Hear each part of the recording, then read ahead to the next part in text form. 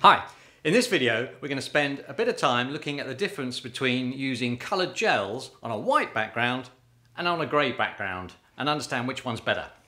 So let's get to it.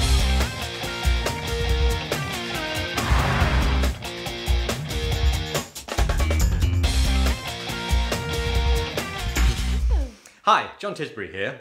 If this is your first time here and you want to learn more about photography, cinema photography, then start today by subscribing, click that notification bell icon to be notified of new updates as and when I upload them. So today I'm with Joceline. Hello. And we're going to show you the difference between using a white background and a grey background with coloured gels. And the gels um, are actually in the wrong place, so Joceline, if you could just pick those up. This is what we're using. We're just using two to demonstrate the um, very nice. To, de to demonstrate the example, uh, we've got a blue and a, a pale pink, and we're going to project both of those onto the backgrounds behind me. The eagle-eyed amongst you will notice we've got grey, and underneath that I've also got white. So we're just going to work between the two. So it's a fairly short video, and hopefully at the end of it you'll know the benefits of using one background colour over the other. The photographs that I take, I'll bring up on screen as well so you can see them. So at the moment we've got video lights on and I'm going to sort of knit between video lights and uh, still lights. And um, yeah, I think that's probably about it uh, in terms of the key bits.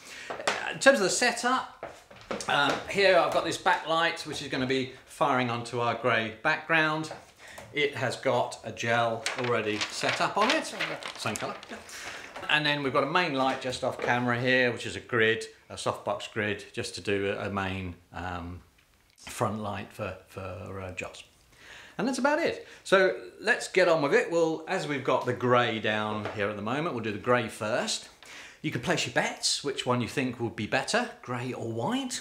Any thoughts? Um, yeah, actually, yes. I'm really interested in this because I'm not sure the answer. I know more people have been using grey with me of late, mm -hmm. but it seems like surely logically this is going to be i feel like this is going to be better on white yeah because i feel like the grey just won't let this show up so mm. that's my prejudice and i'm really interested to see what yeah. it does absolutely and this was one of the quandaries that i had when i first started doing studio photography and uh, it came as a bit of a revelation when I found out, oh right, okay, that's the better option.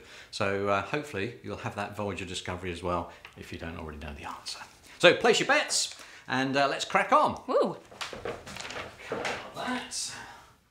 Uh, we haven't had a power cut or um, anything like that. It's very complicated. Yes, mm. I've just cut uh, some of the lights, the video lights, um, so we can see what we're doing um, but still get enough light so you can see what we're doing, as it were, if that makes any sense whatsoever. Probably not. It made beautiful sense to me. Oh, good. Well so I'm so, going to stand in front of this, right? Yeah, absolutely. Okay. So Joss is now covering that back light. It's got a pink gel on it, and I'm lighting her with a softbox, which is off to camera right, as you look at it, guys.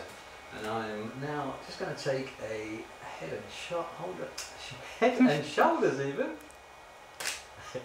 of Joss. That's with the grey background. And as the, the wonders of magic, seamlessly. Amazing. Yeah. Get the camera. I'm going to do the same thing with white.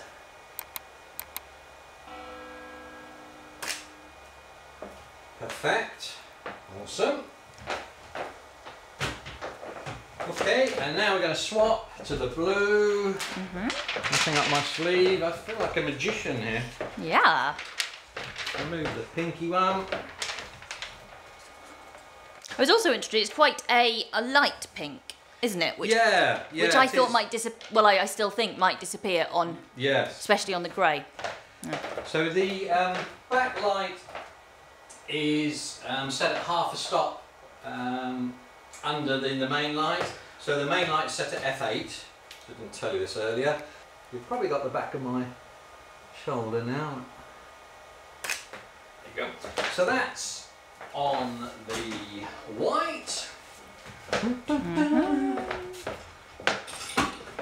You can see how low budget this is. I have to do it.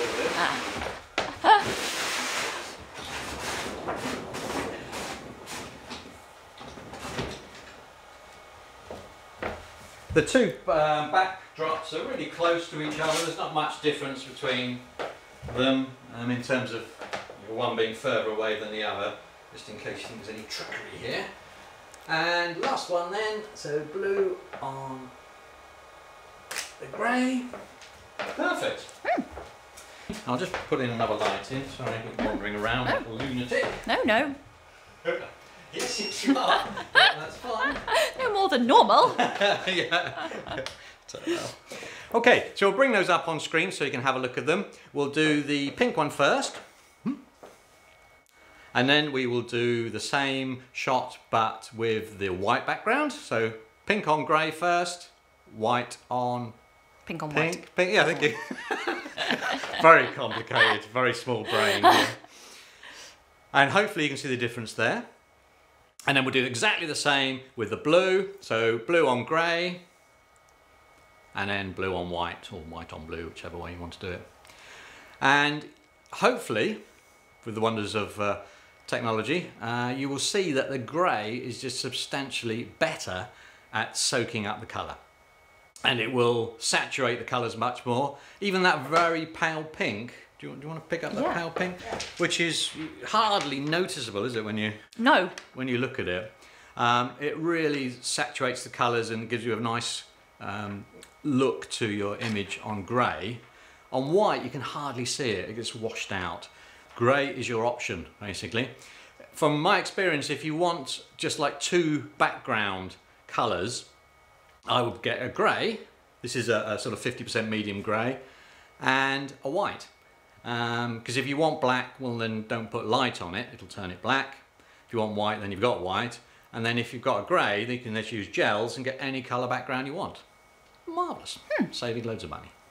The gels, incidentally, I didn't say, um, they're Lee um, gels.